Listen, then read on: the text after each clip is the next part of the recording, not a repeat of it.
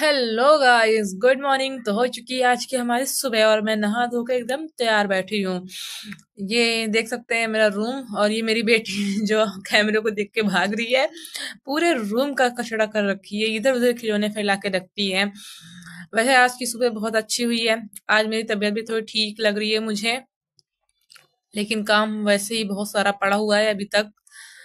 अभी खैर धीरे धीरे होता रहेगा काम वाम तो करते रहेंगे।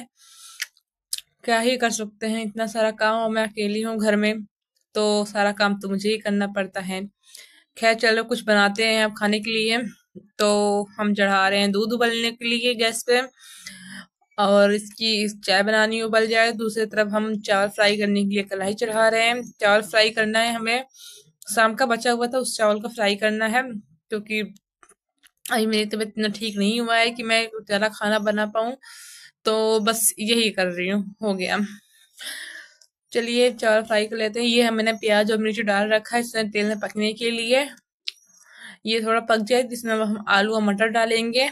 बस थोड़ा सा पक जाने दीजिए इसे। दूसरी तो हमारा दूध भी उबल रहा है। अब इसमें हम डालेंगे आलू, क्योंकि ये प्याज हो चुकी है पक चुकी है। आलू थोड़ी सी पक जाएगी, फिर बाद में इसमें हम चावल डालेंगे। ये थोड़ी लाल हो जाए आलू तो।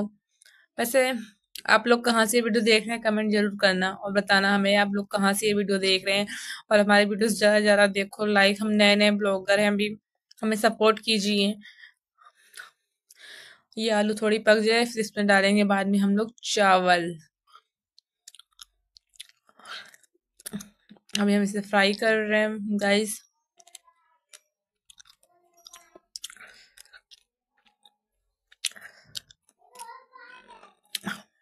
ये पानी लगा रखा है हमने गर्म होने के लिए।